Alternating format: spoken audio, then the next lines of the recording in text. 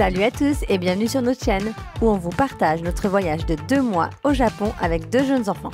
Après la visite la semaine dernière des incontournables surpeuplés de Kyoto, on a eu envie de s'éloigner de la foule et de sortir des sentiers battus. Notre objectif Retrouver le Kyoto authentique, tranquille, comme on l'aime. C'est parti pour une virée en famille à la découverte des perles cachées de Kyoto.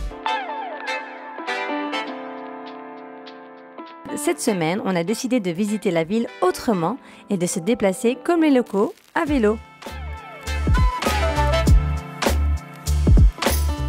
À peine le temps de remonter la rivière et nous voilà arrivés dans un tout petit magasin où nous avons loué deux vélos et deux sièges enfants pendant 7 jours pour un total de 62 euros.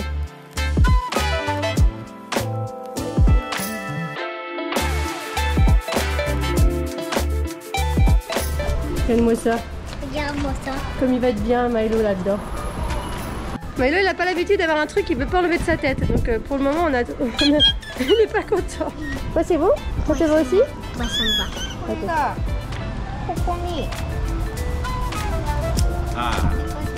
En fait quand je pédale, mes genoux tapent le, le siège. Donc même si je vais assis au plus loin derrière, j'ai quand même les genoux qui tapent le, le siège avant. Je, suis- je suis trop grande. Les japonais ça passe, moi ça passe pas. Qu'on peut faire du vélo sur le trottoir ou pas Eh bien non, le trottoir c'est illégal. Contrairement à tout ce qu'on voit autour de nous, on ne peut pas faire du vélo sur le trottoir sauf si on a moins de 13 ans ou plus de 70 ans et si la rue est très étroite. Et même si tu vas sur le trottoir, tu dois rouler à 10 km/h max et les piétons sont prioritaires. Bon, on va pas le mentir, on l'a fait. Parce que je veux dire, moins de 13 ans, ça veut dire quoi? Il conduit, il conduit pas. S'il est devant, ça compte, ça compte pas. Parce que bon, on voit souvent quand même des mamans, notamment à Tokyo, qui se baladent sur le trottoir avec un siège à l'avant, un siège à l'arrière. Donc deux enfants et des fois le troisième en pour bébé, qui slalom comme ça sur le trottoir. Honnêtement, on s'est jamais fait embêter, à part dans les endroits très très touristiques où là, clairement, faut pas y aller à vélo. C'est des grandes avenues avec plein de voitures, il y a toujours des gens garés sur la piste sur la route. Pareil, les Japonais ont tendance à poser leur vélo n'importe où, devant les supermarchés, devant les restaurants. Mais légalement, t'as pas le droit. Il faut que tu les mettes sur les parkings à vélo. Alors, il n'y a pas un gros cadenas ou une grosse chaîne comme nous on ferait en France. Non, ils ont un tout petit cadenas qui juste bloque la roue arrière. Donc, quand vous arrivez, hop, vous fermez, vous récupérez la clé. Et là, Normalement, c'est bon ou pas Il a fermé. Ah bah oui Je suis con. La nouille. Ça t'empêche pas de porter le vélo de te barrer avec. Ben non, mais en fait, personne ne fait, je crois. À part la fourrière. ah oui, et avant que j'oublie, casque obligatoire pour les moins de 13 ans et on roule toujours à gauche. Maintenant, place à la visite. Et on commence par le chemin des philosophes, une balade très agréable de 2 km longeant un ruisseau bordé de cerisiers. Attention, fun fact du jour, pourquoi le chemin des philosophes? Ben C'est tout simple, parce que Nishida Kitaro, le plus célèbre philosophe du Japon, pratiquait sa méditation tous les matins en parcourant ce trajet jusqu'à l'université de Kyoto. Ah, t'attends la glace, toi?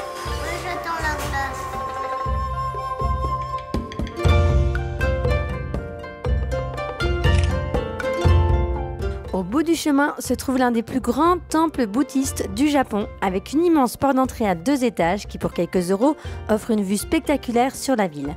Une belle alternative à la fameuse terrasse bondée de Kiyomizu-dera qu'on vous avait montré dans notre vidéo précédente. Nous n'avons pas fait cette fois-ci puisque nous avons choisi de garder nos 500 yens pour la visite du Hojo, le bâtiment principal avec son jardin zen et ses peintures traditionnelles.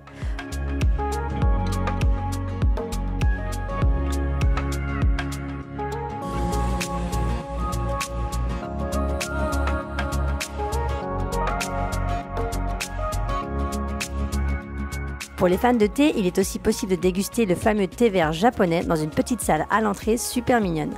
Et petit plus, comme dans tous les temples, il faut se déchausser avant d'entrer, mais les chaussons qu'ils vous prêtent là-bas sont plutôt stylés. Tu veux voir tes pieds Waouh, ils ont des chaussons Pikachu.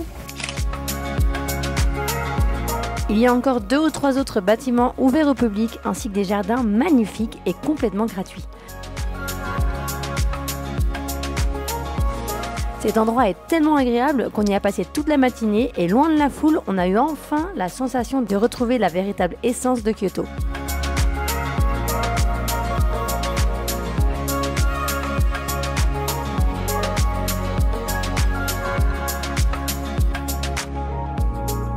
n'oubliez pas avant de partir de passer par le vieux aqueduc pour une dernière petite photo souvenir. Place maintenant à la visite de l'ancienne résidence de l'empereur. Contrairement au palais actuel à Tokyo qui n'ouvre qu'une fois par an, celui-ci est ouvert au public toute l'année, sauf le jour où on a décidé de le visiter bien sûr. C'est la crise Oh, c'est la crise Pourquoi c'est la crise, Milo Milo, pourquoi c'est la crise Qu'est-ce qui se passe, C'est chouchou très Malo. Parce qu'il n'a pas le droit de rentrer dans le temple du de- le palais de l'empereur. Ah. Parce que c'est... euh, je sais pas quoi, Sports Day. C'est un jour férié, quoi. On n'a pas le droit de rentrer, la table de l'empereur, elle est pas contente. Palais de l'empereur, on y retourne. Et cette fois, on rentre, c'est sûr. Sinon, on abandonne. Ça y est, on est rentré finalement. Et bonne nouvelle, en fait, c'est complètement gratuit. Je te donne juste un petit tag comme ça pour euh, rentrer. Et il y a deux tours euh, guidés qui sont aussi gratuits à 10h et à 14h. Mais nous, on a loupé.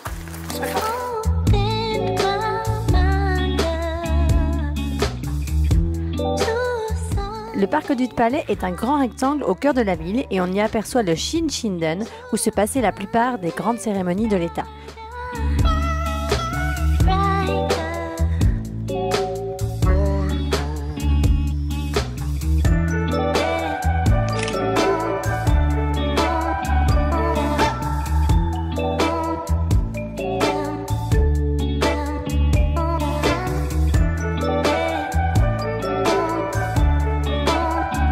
La partie jardin est aussi très agréable, mais à part ça, pour être honnête, on ne peut pas dire qu'il est dans la liste de nos endroits préférés de Kyoto, surtout avec des jeunes enfants. Les seuls avantages, la visite est assez rapide, comme je vous le disais avant, gratuite et les espaces sont tellement grands qu'on peut largement éviter le monde. Ne le mettez donc pas dans votre liste des choses prioritaires à faire à Kyoto, à moins que vous ne soyez fan d'histoire. On enchaîne tout de suite avec une autre visite juste à côté. On est dans un château. Et il s'appelle comment les châteaux Non, j'ai pas envie de dire. Comment s'appelle.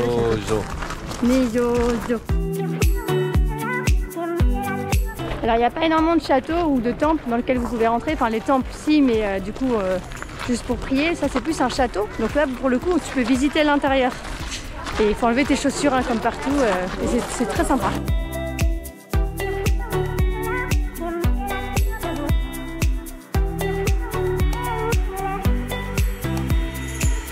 Bah finalement on n'a pas pu vous montrer l'intérieur puisque c'était interdit de filmer donc il n'y a plus qu'à y aller. hein. Voilà ça vous donne une excuse pour venir et le voir par vous-même. Si vous venez visiter un des châteaux du Japon, euh, vous allez vous rendre compte d'un petit détail, c'est que les parquets grincent. Euh, donc en fait c'est parce qu'ils sont faits d'une certaine manière avec les clous et en fait quand le parquet monte et descend, ils, font un petit, un petit pincement, un petit sifflement qui est vraiment euh, typique et reconnaissable. La légende veut que ce soit fait exprès pour entendre des ninjas qui seraient venus vous assassiner pendant la nuit. La vérité c'est qu'en fait c'est juste la forme des clous qui fait que ça grince. Mais j'aime bien l'histoire, j'aime bien l'idée.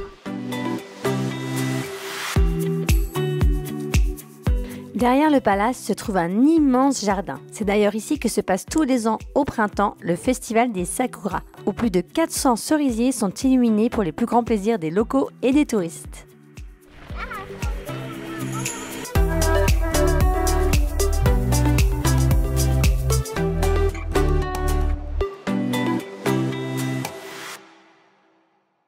Aujourd'hui on va direction Nara, enfin un petit peu avant, pour visiter ce temple-là. On est un peu en dehors de Kyoto et du coup tout de suite tu vois, euh, bah rien moins Pour nos derniers jours à Kyoto, nous sommes partis un peu plus au sud, dans la petite ville de Uji, une grande productrice de thé vert. Vous voyez le chien derrière moi, je vais pas trop le, le filmer là, mais j'y dans le coin. Il a une couche quoi. Déjà, il n'y a pas beaucoup de gens au Japon qui ont des animaux de compagnie parce qu'il faut être honnête, il n'y a pas beaucoup d'endroits pour leur faire faire pipi caca. T'as pas le droit de marcher dans l'herbe, t'as pas le droit de faire pipi dans le caniveau. Donc en fait, les chiens, ils peuvent faire pipi nulle part. Donc je pense qu'il doit y avoir des petites litières à, à la maison. C'est pour ça que c'est des petits chiens aussi, généralement. Et sinon, bah, ils se baladent avec des couches. N'étant pas des grands fans de thé par ici, on a plutôt choisi de se concentrer sur ce magnifique temple shintoïste très connu pour son hall principal, surnommé Odu, la salle du phénix, que l'on peut même apercevoir sur les pièces de 10 yens japonaises. Alors avec ces tickets, vous pouvez rentrer dans le jardin du temple et dans le musée. Après, pour vraiment rentrer dans le temple lui-même, il faut payer un supplément.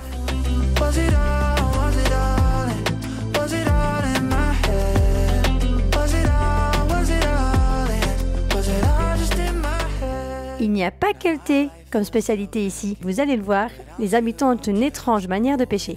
Ouais, c'est écrit Tu nous racontes l'histoire des cormorans, mon Milo? D'accord. En fait, ils sont apprivoisés pour aller pêcher, c'est la- ça s'appelle la pêche au cormoran. Et apparemment, euh, bah, ils vont pêcher de nuit, les, les pêcheurs, avec une, une grosse lanterne pour leur service de lumière.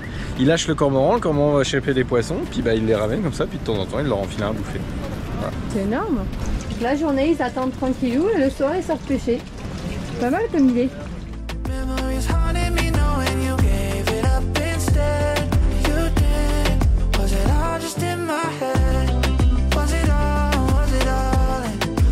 Alors si un jour vous visitez la ville de Uji où il y a le temple euh, qu'on vient d'aller voir, en fait il y a un plan à la sortie qui vous dit toutes les choses à faire dans la ville. Nous on allait repartir et finalement on s'est dit bah non en fait on va aller voir les autres choses. Par exemple, juste là, il y a une petite île qui est très très mignonne. Donc on a pris le petit pont pour traverser et après nous on voudrait aller là. On s'est dit oh ça va, on fait ça, ça, ça, ça et on revient sur le pont de singe. Sauf qu'en fait, en regardant Google Maps, le plan n'est pas du tout à l'échelle. Donc entre là et là, il y a genre 1 km 8, je crois, un truc dans le genre. Donc ça veut dire qu'après, il faut qu'on fasse ça, ça et qu'on revienne là. Nous, ça nous gêne pas, c'est plus les deux petits. Bon, heureusement, on a la poussette où on peut mettre les deux ensemble. Donc du coup, ça devrait le faire, on va le tenter.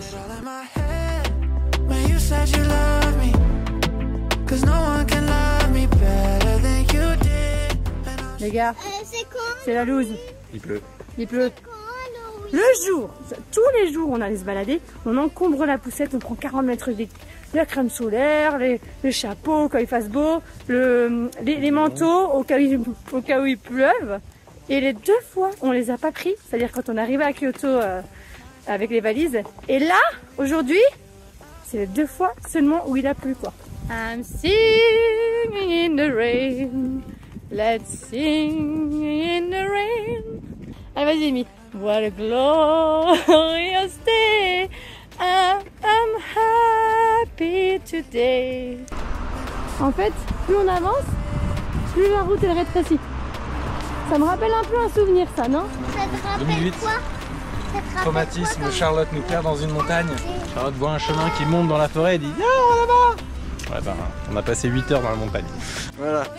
Concr- Concrètement, euh, là c'est Charlotte qui nous guide depuis tout à l'heure. Alors on est dans la deuxième plus grosse ville du Japon et on est en train d'escalader une montagne par la forêt. Donc euh, je, je garantis rien sur le chemin, on va peut-être y rester.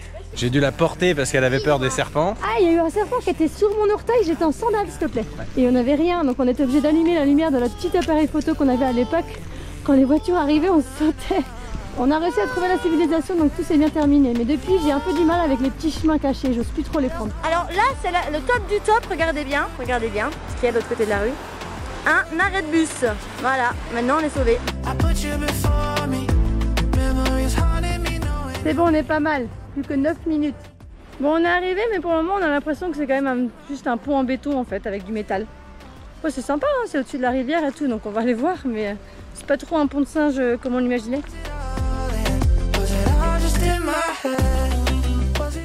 Alors chouchou, ça valait le coup de faire euh, un kilomètre et demi pour venir voir un pont?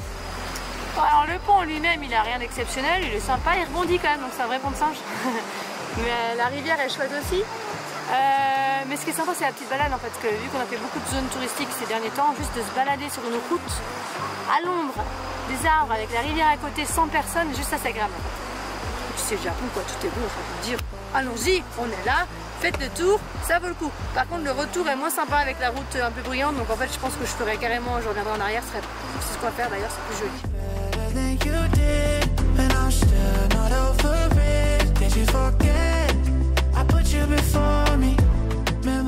Bah voilà, c'est fait, on est trempé. La station de métro elle est en face. Et moi, et moi, je fais les cheveux tout trempés. Franchement les japonais ils m'impressionnent parce que c'est genre ils sortent leur parapluie de sous leur chapeau. Quand tu les vois se balader dans la rue, il n'y a personne qui a un parapluie. Dans la main en tout cas. Et dès qu'il pleut, tout le monde a le parapluie. C'est genre euh, voilà, c'est c'est le truc évident, tout le monde sort un parapluie. Alors je ne sais pas d'où, mais tout le monde sort un parapluie. Oh là là, c'est la tempête Et voilà les loulous, j'espère que vous avez aimé autant que nous cette magnifique ville. Et si vous voulez continuer de voyager avec nous, abonnez-vous puisque l'aventure est loin d'être finie. Dans les prochaines semaines, nous allons continuer notre descente vers le sud du pays et on a encore bien d'autres choses à vous partager. Attendez, ne partez pas tout de suite, il nous reste une expérience unique à vous montrer sur laquelle on a conclu nos deux semaines à Kyoto. On a eu la chance d'assister à un spectacle son à lumière projeté sur l'un des plus beaux temples de la ville, un événement qui arrive régulièrement dans différents lieux à Kyoto. Alors assurez-vous de ne pas les manquer lors de votre prochain voyage au pays du soleil levant. À bientôt les loulous